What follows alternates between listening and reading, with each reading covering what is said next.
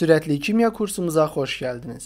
Bugün haqqında danışmalı olduğumuz mövzu kalsiumun birləşmələri, təbii ki, sənayədə alınan mühüm birləşmələrindən söhbət gedir və həmçinin suyun zorluğudur. Mövzu üzrə nəzərdən keçirməli olduğumuz alt başlıqları ekranda görürsüz. İlk öncə gəlin kalsiumun ən mühüm təbii birləşməsi olan əhəng daşından danışaq. Niyə əhəng daşı kalsiumun ən mühüm təbii birləşməsi sayılır? Çünki digər kalsium birləşmələri təbiətdən əldə olunan əhəng daşından alınır. Gördüyünüz kimi, əhəng daşı, təbaşir, mərmər, əslində bunlar eyni bir birləşmənin müxtəlif adları və müxtəlif formalarıdır. Evlərimizdə istifadə etdiyimiz mərmər də həmin formula sahibdir. Bu formul kalsium CO3, yəni kalsium karbonat formuludur. Onu əslində biz süni şəkildə də çox rahat əldə edə bilirik. Təbii ki, biz mərmər əldə edə bilməyəcəyik. Bu aydın məsələdir, çünki mərmərin əldə olunması üçün həmin mineral uzun müddətdə təzyiq altında saxlanılmalıdır və bu yer qabığında, yerin tərkində baş verən bir prosesdir. Lakin biz e, kalsium karbonatın özünü çox rahatlıqla əldə edə bilərik. Sadəcə əhəng suyundan karbon qazını keçirmək bunu almaq üçün kifayətdir. Qeyd etdiyimiz kimi kalsium karbonat formuluna həm əhəng daşı uyğun gəlir, həm təbaşir uyğun gəlir, həm də mərmər bu formula uyğun gəlir. Qeyd etdik ki, digər kalsium birləşmələri əsasən əhəng daşından alınır. Əhəng daşını 1000 dərəcə Selsiyə qədər qızdırıldıqda, qızdırdıqda o kalsium oksid və karbon qazı ayırmaqla parçalanır. Oradan alınan kalsium oksid də təbii ki, kalsiumun digər birləşmələrinin alınması üçün istifadə olunur. Ona görə də əhəng daşı digər kalsium birləşmələrindən daha əhəmiyyətli hesab olunur. Burada gördüyünüz kimi kalsium karbonatın özünə karbon qazı və su ilə birlikdə təsir etdiyimiz zaman kalsium hidrokarbonat əmələ gəlir. Burada bu iki formul arasındakı fərqi başa düşmək lazımdır. Kalsium karbonat ümumiyyətlə suda həll olmayan bir birləşmədir, yəni çöküntüdür. Ondan fərqli olaraq kalsium hidrokarbonat isə suda həll olur. İndi biz növbəti slaydlarda danışacağıq. Suyun zorluğunun əmələ gəlməsi də məhz bu birləşmənin xassələri ilə bağlıdır. Yəni təbii şəraitdə karbon qazı və su kalsium karbonata təsir eləyir. Onun nəticəsində kalsium hidrokarbonat əmələ gəlir ki, bu da suya zorluq verir. İndi biz onun haqqında təbii ki, məlumat verəcəyik. İndi isə gəlin sönməmiş əhəngdən danışaq. Ümumiyyətlə əhəngin iki fərqli növü var. Sönməmiş əhəng, bir də sönmüş əhəng. Təbii ki, sönmüş əhəng özü də əhəng südü və əhəng suda suyu olmaqla iki qrupa bölünür, lakin sönməmiş əhəngi sönmüş əhəngdən fərqləndirmək lazımdır. Burada gördüyünüz kimi kalsium oksid sönməmiş əhəngdir. Kalsium oksidin su ilə reaksiyası istilik ayırmaqla baş verir. Ona görə də bu prosesə əhəngin söndürülməsi adı verilib və reaksiya nəticəsində də təbii ki, kalsium hidroksid əmələ gəlir. Burada biz az öncəki reaksiyanı təkrar yada salırıq. Dedik ki, kalsium oksid almaq üçün təbii kalsium karbonatı qızdırmaq lazımdır. Bu zaman kalsium oksid və karbon qazı əmələ gəlir. Kalsium oksid sönməmiş əhəngdir. Onun su, e, su ilə reaksiyasından e, əhəngin söndürülməsi üsulu ilə sönmüş əhəngi də əldə eləyəcəyik. Lakin öncə bu reaksiyaya baxaq. Burada kalsium oksidin karbonla reaksiyasından kalsium karbin əmələ gəlir. Kalsium karbid də kalsiumun çox vacib başqa bir birləşməsidir. Ona da su ilə təsir etməklə asetilən almaq mümkündür. Ona görə əhəmiyyətlidir əhəmiyyətli bir birləşmədir.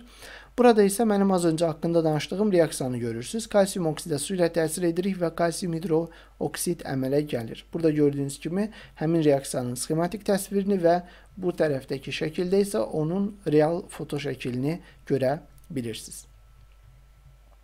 İndi isə gəlin sönmüş əhəngdən danışaq. Biz az öncə qeyd etdik ki, sönmüş əhəng dedikdə biz orada əhəng südü və əhəng suyunu bir-birindən fərqləndirməyi bacarmalıyıq. Və həmçinin burada xlorlu əhəng də var, bir də javel suyu da var.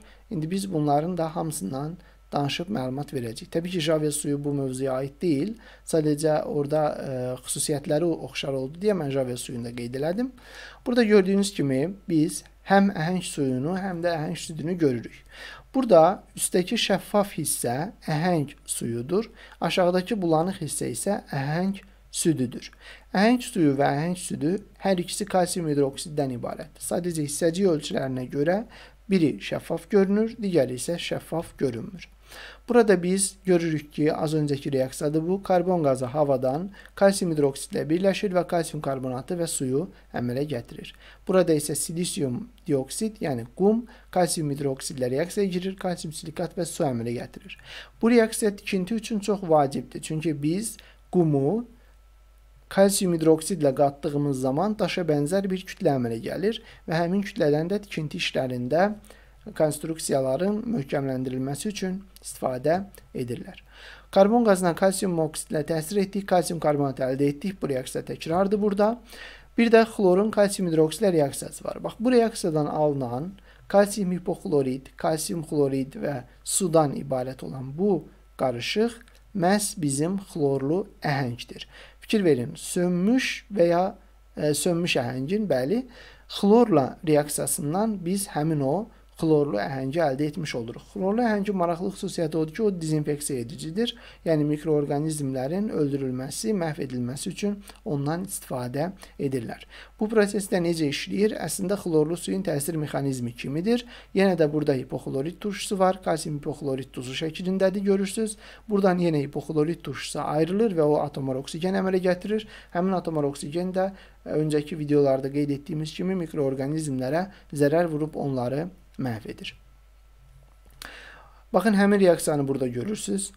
Havadakı karbon qazı və suyun təsirindən kalsium hipoxloriddən hipoxlorid turşusu əmələ gəlir və kalsium karbonat çöküntüsü formalaşır. Burada həmin çöküntünü də görürsünüz.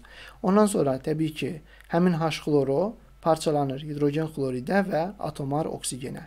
Atomar oksigen də həmin o canlı orqanizmlərin ə, qılafını məhv edir. Bunu da qeyd elədik. İndi isə gəlin başqa bir kalsium birləşməsi ilə tanış olaq. Bu birləşməmizin adı gipsdir. Gipsin 3 forması var. Təbii gips, alibastır və ölü gips. Bunları fərqləndirmədən öncə gəlin gipsin həyatımızda bizim yenə gipslə necə iç-içə yaşadığımızdan danışaq. Əslində restoranlarda, bəzi evlərdə gördüyümüz maraqlı tavan dizaynları var. Bu tavan dizaynlarında istifadə olunan həmin o ağ kütlənin əsasını gips təşkil edir. Yəni onlar gips tərkibli tökmələrdir. Onlardan o məqsəd üçün istifadə edirlər. Ə, təbii ki, bəziləri gips tərkibi olmaya bilər, polimerlər var, həmçinin kalsium karbonatdan o məqsədlə istifadə olunanlar var, amma yenə deyirəm, gipsdən də həmin məqsəd üçün istifadə edilir və bu yetərincə geniş yayılır. Xüsusilə listurlar olan hissələrdə ə, düşünürəm ki, gipsə üstünlük verilir. Və təb təbii ki, gips heykəlciklər də var. Bunda görürsüz, müxtəlif sənət əsərləri hazırlanır, yenə də həmin tərkibdən. Bəs bu tərkib nədir? Baxın, fikir verin, kalsium sulfat vurulsun 2 molekul su. Bu təbii gipsdir. Gördüyünüz bu təbii gips. Təbii gips 150-180 dərəcə Selsiyə qədər qızdırıldıqda yarımsulu gips və ya alibastr əmələ gəlir. Burada formula fikir versəz suyun azaldığını görə bilərsiniz. Həmin o yarımsulu gipsi suya qatırlar və yarımsulu gips su ilə reaksiyaya girdiyi zaman təkrar təbii gipsə qayıdır. Deməli, siz bir heykəlcik hazırlayırsınızsa və ya nəsə bir material hazırlayırsınızsa, bu zaman siz bunu götürürsüz, yarımsulu gipsi, onu su ilə qatırsınız, qəlibliyirsiniz, lazım olan formaya salırsınız onu, ondan sonra o təbii olaraq çevrilir kalsium sulfata. Ee, sorry, kalsium sulfata deyəndə təbii gipsə bunu qeyd eləyək. Bu üzr istəyirəm. Burada bir də onu qeyd etmək lazımdır ki, burada gördüyünüz kimi təbii gipsi normadan artıq qızdırdığımız zaman, yəni temperatur 180 dərəcədən yuxarı olduğu zaman təbii gips tamamilə kalsium sulfata çevrilir və bu zaman həmin gipsə ölü gips deyilir. Niyə? Çünki kalsium sulfatın özünün özünə su birləşdirmək xüsusiyyəti yoxdur. Yəni siz onu 180 dərəcədən çox qızdırdığınız zaman ölü bir kütlə əmələ gətirirsiniz ki, həmin kütlə artıq heykəl və ya qəlibləmə işləri üçün yararsız olur. Və bilirsiniz ki, tibbdə də sınıqların müalicəsi zamanı həmin bu gips sarğılarından geniş istifadə olunur. Yaralının qolunu müəyyən müddət eyni vəziyyətdə saxlamaq üçün onun qoluna gips töküldüyünü yəqin ki, hamınız bilirsiniz. Davam eləyək. Burada suyun codluğu var. Fikir verirsiniz bu suyun codluğu. Gəlin bu suyun codluğundan məlumat verək. Ümumiyyətlə codluq nədir? Deməli, codluq suyun tərkibindəki kalsium 2 müsbət, bir də maqnezium 2 müsbət ionlarının varlığı nəticəsində suyun xüsusiyyətlərində baş verən dəyişikliklərdir. Onlar suda codluq yaradır. Əvvəla necə bir dəyişikliklər müşahidə olunur, onu qeyd edək. Əvvəla cod suda təmiz, e, saf sudan fərqli olaraq sabun, daha pis köpüklənir. Niyə sabun pis köpüklənir? Bunu burada görə bilirsiniz. Normalda sabun C17H35 CO natrium duzlarıdır. Onlar həmin o natrium duzlarını bu kalsium və maqnezium duzları əvəz etdiyi zaman həmin duz artıq çöküntü halına keçir və ona görə də sabun başlayır çökməyə. Və bu sabun çöküntü formasına keçdiyi zaman, yəni suda hərli olmadığı zaman təbii ki, yuyuculuq qabiliyyətini də itirir. Bundan başqa da problemlər yaradır. Cod su əvvəla cod suyun təsirindən əmələ gələn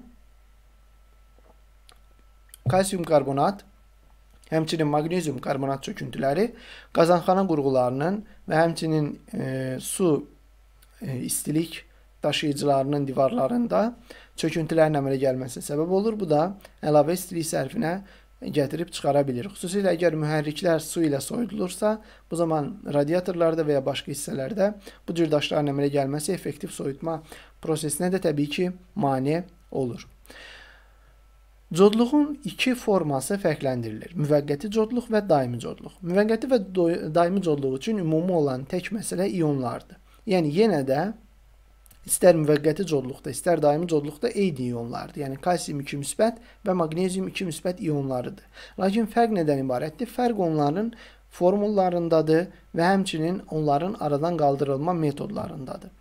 Burada fikir verirsiniz, biz müvəqqəti codluğu nəzərdən keçiririk. Müvəqqəti codluğun ikinci adı karbonatlı codluqdur. Niyə müvəqqəti codluğa karbonatlı codluq deyirəm? Çünki istənilən bir müvəqqəti codluq birləşməsi kalsium karbonatdır. Fikir verirsinizmi? Kalsium və ya maqneziumun hidrokarbonatlarıdır. Belə daha dəqiq olar. Həmin hidrokarbonatlar suda həll olur, normal xüsusiyyətlər göstərir, amma özləri ilə bir yerdə bu kalsium 2 müsbət ionunu daşıyırlar. Və bu kalsium 2 müsbət ionu da yuxarıda göstərdiyimiz reaksiyanın baş verməsinə və sabunun pis köpüklənməsinə səbəb olur. Həmçinin, əgər siz həmin suyu 100 dərəcə Selsiyə yaxın temperaturlarda emal edirsinizsə, bu zamanda həmin birləşmə parçalanır və sizə lazım olmayan kalsium karbonat çöküntüsünü əmələ gətirir. Bu da dediyimiz kimi qurğuların içərisində tutulmalara, e, daşlaşmalara səbəb olur. Və bu səbəblərdən də biz kalsium ionunu məhluldan kənarlaşdırmalıyıq. Necə kənarlaşdıra bilərik? Təbii ki, çökdürməklə. Çökdürmənin bir neçə üsulları var. Bura deyirlər ki, bu üsullara deyirlər ki, müvəqqəti codluğun aradan qaldırılma üsulları. Birincisi qaynatmaqdır. Cod suyu qaynatdığınız zaman çaydanın dibində və divarlarında əmələ gələn ərpi yəqin ki, görmüsüz. Həmin ərpin əmələ gəlməsi hesabına kalsium ionlarının bir qismi məhlulu tərk edir. Həmçinin biz başqa əhəng üsulundan da istifadə edə bilərik. Əhəng üsulu nədir? Kalsium hidroksidə cod suyu ilə tə qarşılıqlı təsir nəticəsində kalsium karbonat yenə də çökür. Baxın, fikir verin, bu reaksiyalarda ümumi məqsəd ondan ibarətdir ki, kalsium ionlarını çöküntü şəklində hansısa bir duzun tərkibinə daxil etmək. Fikir verirsinizmi? Və o çöküb məhlulu tərk etməlidir. Burada isə biz ə, soda üsulunu görürük. Natrium karbonat sodadır, texniki soda bilirsiniz. Yenə də eyni məqsədə nail oluruq. Kalsium karbonat şəklində kalsium ionunu çökdürürük.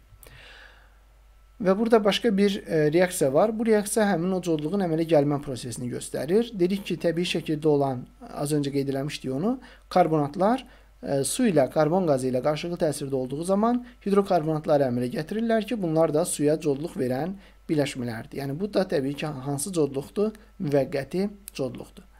Müvəqqəti codluqdan fərqli olaraq daimi codluğun tərkibində hidrokarbonatlar olmur və hidrokarbonatların olmaması burada bəzi çətinliklər yaradır. Əvvəla hidrokarbonatlar olsaydı, qaynatmaqla bu codluğu aradan qaldırmaq mümkün idi. Lakin hidrokarbonatlar olmadığı üçün daimi codluğu qaynatmaqla aradan qaldırmaq mümkün deyil. Yəni siz tərkibində kalsium sulfat olan bir duzu, suyu belə deyək, qaynatdığınız zaman onun müvəqqəti codluğunu itirə bilsəniz belə daimi codluğuna təsir edə bilmirsiniz. Ona görə də daimi codluğu aradan qaldırmaq üçün spesifik üsullardan, e, reaksiyalardan istifadə etmək vacibdir. Burada fikir verin, yenə də soda üsulu var. Yəni soda üsulu həm müvəqqəti codluqda, həm də daimi codluqda istifadə olunur. Və burada fosfat üsulu var. Natrium ortofosfat istifadə olunduğu üçün üsul fosfat üsulu adlandırılır. Bunu da qeyd elədik. Təbii ki, burada başqa reaksiyalar da var. Məsələn, natron üsulu var. Reaksiya burada qeyd olunmayıb. Natrium hidroksidlə təsir etməklə aradan qaldırılır codluq və digər üsullar da təbii ki, var. Amma ümumi məqsəd eynidir. Yəni bizim əsas başlıca məqsədimiz odur ki, məhlulun içərisində olan kalsium və maqnezium ionlarını həll ola bilməyən, yəni çöküntü halında olan hansısa bir birləşmələrə çevirib onları məhluldan kənarlaşdırmaqdır. Bir də codluq dərəcəsi adlanan bir anlayış var. Suyun 1 litrindəki kalsium 2 müsbət və maqnezium 2 müsbət ionlarının miqdarına, millimollarla daha doğrusu miqdarına codluq dərəcəsi deyirik. Codluq dərəcəsinin qiyməti dəyişkən olur. Burada qeyd eləmək lazımdır ki, ə, 10 millimol və 2 millimol bölü litr bizim standart olaraq qəbul olunur. Yəni 2 millimol bölü litrdən aşağıdırsa suyun corluğu buna deyirik ki, bu su yumşaq sudur. 2-dən 10-a qədər olanda bu su artıq orta corluqlu su hesab olunur. Ondan çox olsa əgər 10 millimol bölü litrdən çox olsa əgər bu artıq e, cod su hesab olunur. Dəniz suyunda səhv eləmirəmsə codluq 35 millimol litrə yaxındır. Ona görə də yetərincə cod su hesab olunur və bir də qeyd eləyək ki, məişətdə istifadə olunan su üçün yol verilən codluq dərəcəsi 7 millimol böl litr qəbul olunub. Bu da məişət standartıdır. Beləliklə biz bu videomuzun da sonuna gəldik. Quiz yaddan çıxmır. Diqqətiniz üçün təşəkkür eləyirəm. Növbəti video çaxlarda görüşərik deyirəm. Hələlik.